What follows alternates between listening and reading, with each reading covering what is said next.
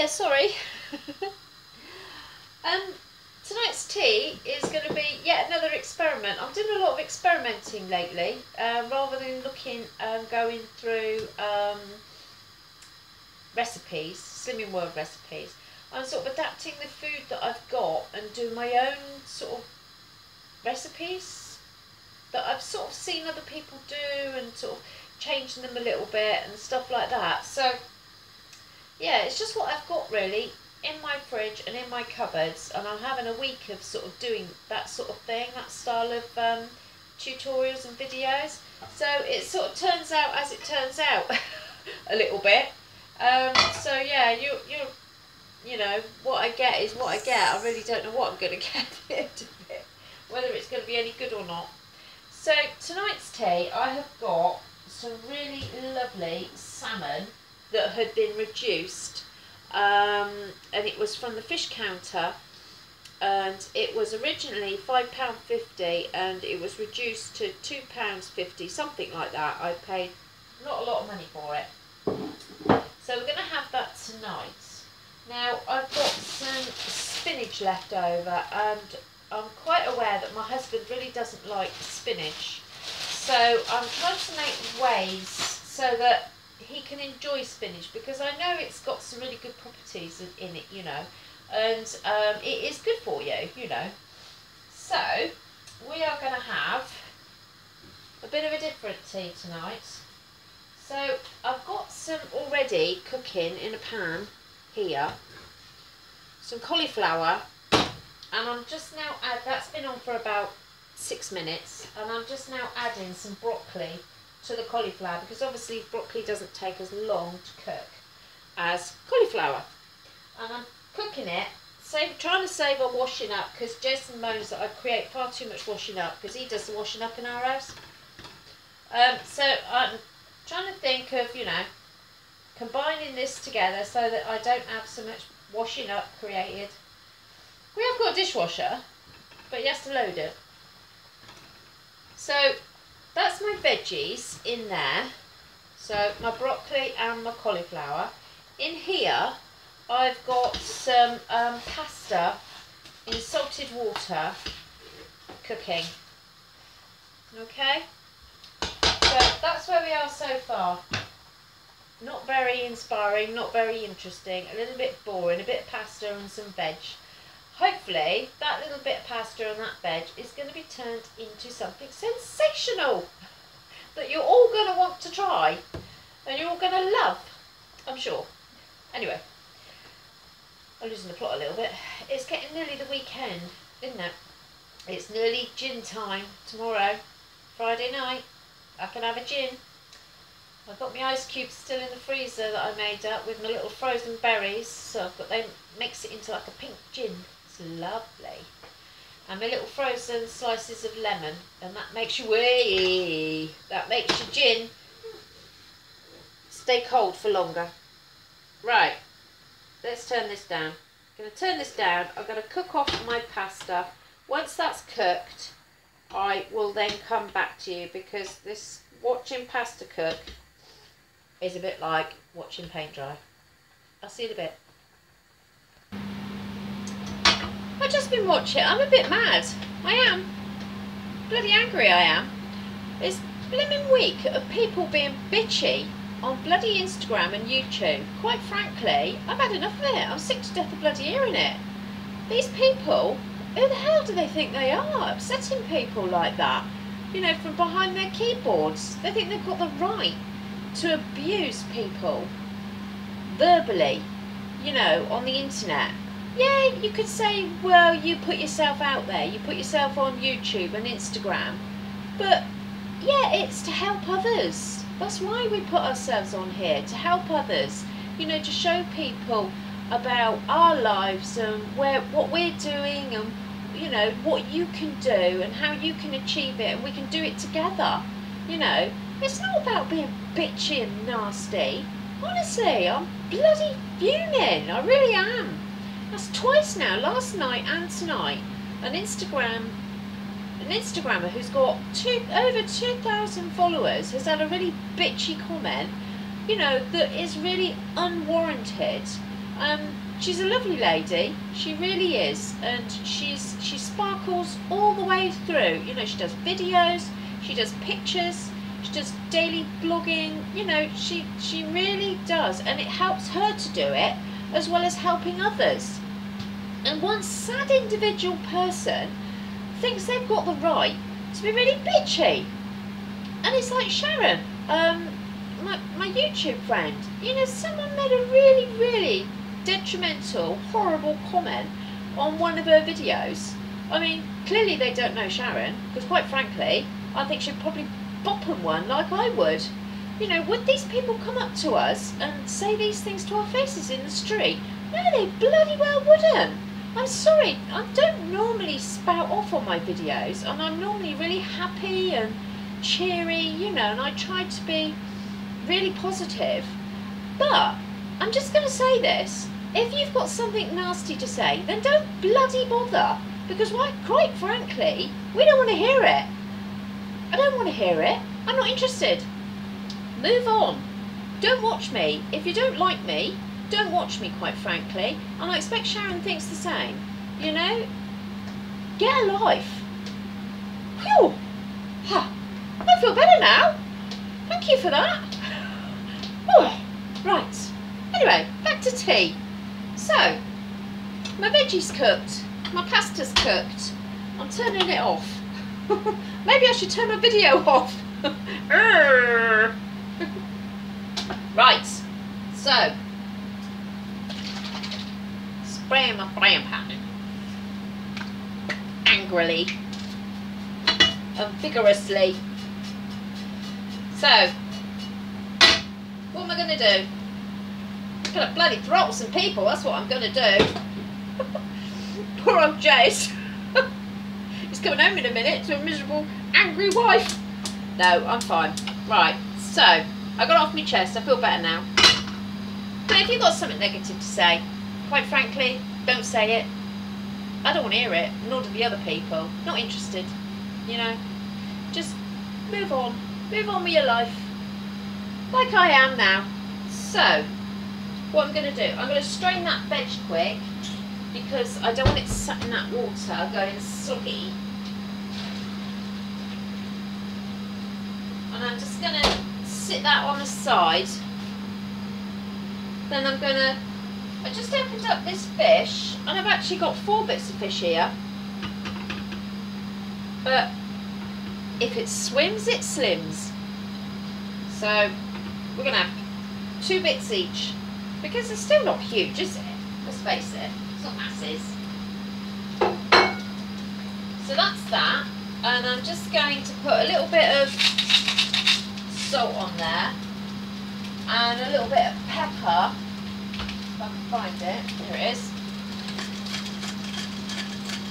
On there. And I'm just going to cook my fish through. Just be careful when you're cooking your fish that you don't overcook it and make it go dry. Sorry, I'm not looking at you, am I? I'm looking for... There it is. Yeah, you don't let it go dry. Um, the best way I find when I'm cooking a piece of fish is I look at the size of the fish and once it's gone halfway up, the colour has gone more opaque. It's got a paler pink than this is now. Then I'll flip it over and then it will cook down and meet the other side. And that's how I do it.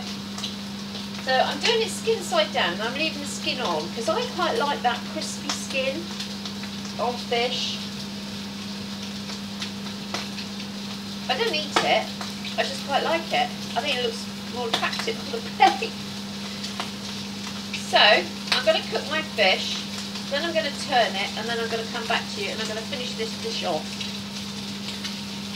Right, so I'm just going to show you this now. Can you see where it's starting to go a paler pink on the ends? And it is starting, I'll show you, that bit's probably the best one.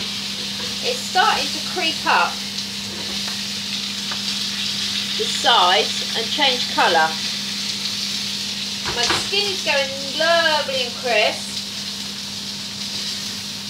and it will soon be time to flip it on over. So I'm just going to give it a few more seconds And then I'm going to flip those little fillets over. Right, so that's my fish done. I'm going to, got Smoky Joe in here. I'm going to take out the pan and I'm going to sit it on my board just to rest while I finish the dish. So I've wiped out my frying pan um, and got out that sort of fishy residue and I'm just going to finish up by putting a little bit of oil in my pan and then I'm going to put in all of this. And wilt it down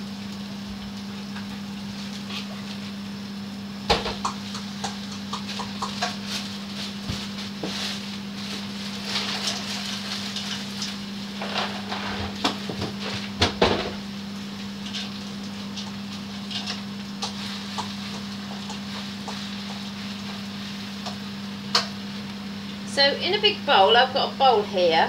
I'm going to combine my veggies. So I've got my broccoli and my cauliflower in there. Oh. Along with my pasta.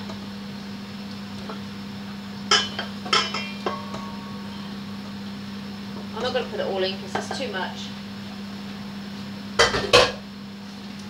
And I'm just going to give that a little bit of a gentle stir around. Like so.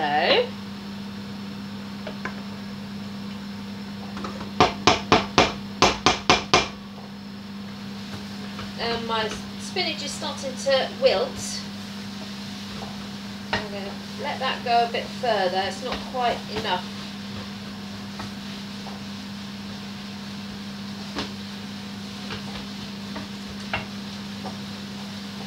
and then I'm going to add some quark to that. Whoop a daisy. Here I go. Just going to turn this down a little bit. It's running away with me. There we go. Got a little stir. Then I've got some mozzarella, which I'm just going to break up. And that's just half a low fat mozzarella. That's optional. It's only because I got it. it needs eating up. There we go. And keep going. And what you've done is sort of created like a bit of a sauce. And then I've got some of my herbs Provence and I'm just going to put a little bit of that in. I've got a lemon. Not a lot, I'm just going to give it a little whoosh. I just got to shut this window. Oh, because I don't want my fish getting cold. So I've got my little bit of lemon in there. Looking good. And then I'm literally going to turn it off. I'm going to add this to the rest of my ingredients in the bowl. Like so. And I'm going to mix that through.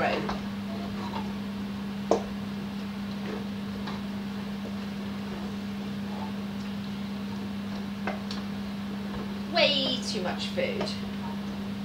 Anyone wants to come round, you're more than welcome. North Devon.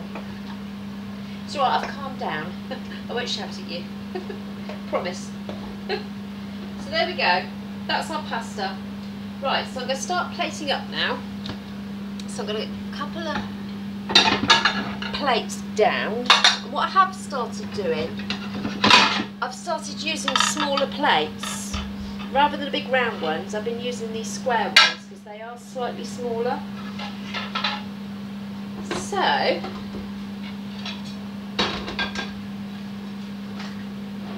let's plate up.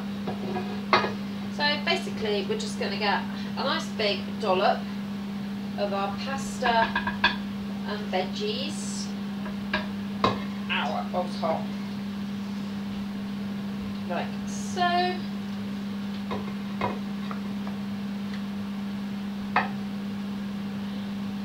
Got that oozy cheese. You see that cheese?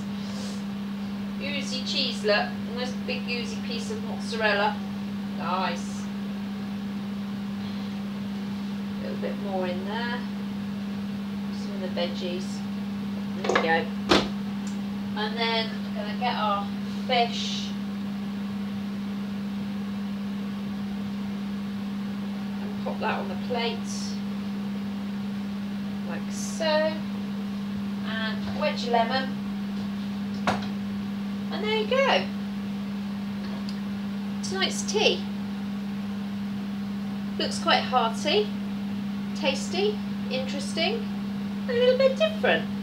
So I hope you give this a little go. I'll give it a little taste test for you.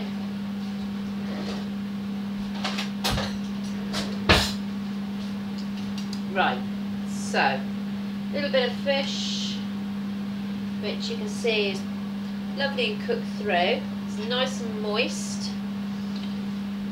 And a little bit of spinach. Oh, there's a bit of mozzarella there.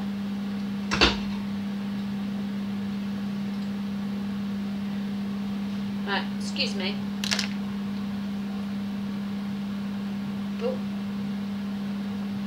Oh, lovely. Really tasty fish is really moist and, and juicy and tender. It's not dry at all. And um, the pasta's lovely, really nice with that sort of creaminess from the quark. You wouldn't know it was quark. It just feels like a very light white sauce. And and the bit the little bit of mozzarella gives it a nice little a nice little twist. And of course you've got the spinach in there which is pretty darn good for you. So all in all, a really tasty dish. So give it a thumbs up if you enjoyed this. No bitchy comments, I'm not interested. Just nice comments please. Um, and yeah, enjoy your evening, have a lovely time, and um, I'll see you next time. Ta-da!